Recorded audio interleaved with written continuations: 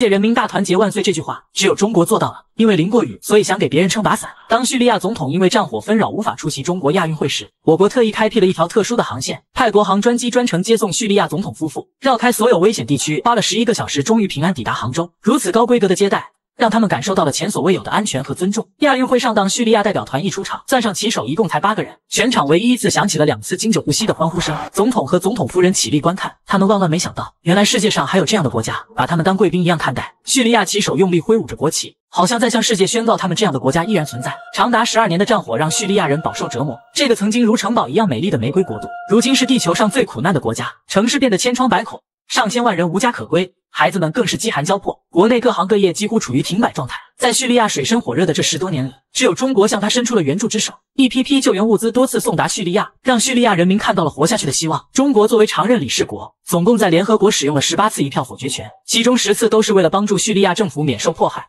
因为我们也曾在废墟里仰望过天空，为了让大马士革的玫瑰重新绽放在叙利亚各地，我国向叙利亚打开了贸易港口。把他们带上了一带一路的快车道，一艘艘载满叙利亚货物的货轮向我国驶来，里边装载的是他们引以为傲的、拥有四千多年历史的叙利亚古皂。这些古皂虽然看起来粗糙，但却不是普通的肥皂，原材料也只有橄榄和月桂。人们会冒着枪林弹雨的危险抢收橄榄果。然后炸出橄榄油，根据比例加入月桂油，倒进一百二十度的大锅内熬煮三天三夜，期间不添加任何化学物质。然后将这些皂液倒在地板的模具上冷却定型，等待液体凝固成型。工人们会像老牛耕地一样，将骨皂分割成大小一样的方块。最后让村里的老人拿起象征和平的图腾锤，敲打在每一块骨皂上。此时古皂的制作还没有完成，它们会被送往古堡，经历三到十年的风干后才能使用，直到它的外表变成橙黄色，切开后里边还是橄榄绿色。一块传承千年的叙利亚古皂才算制作完成。这种古皂没有浓密刺鼻的味道，只有淡淡的橄榄油和月桂的清香，只需轻轻揉搓就能打出绵密的泡沫，无论是洗脸、洗头、洗澡都可以。当地人更是拿它当成牙膏来刷牙。这份从叙利亚传承千年的天然手工古皂，承载的是叙利亚人几代人活下去的希望。而此刻，中国帮他实现了。祝愿大马士革的玫瑰终将开满叙利亚每个角落，希望叙利亚的子孙后代可以免受战乱。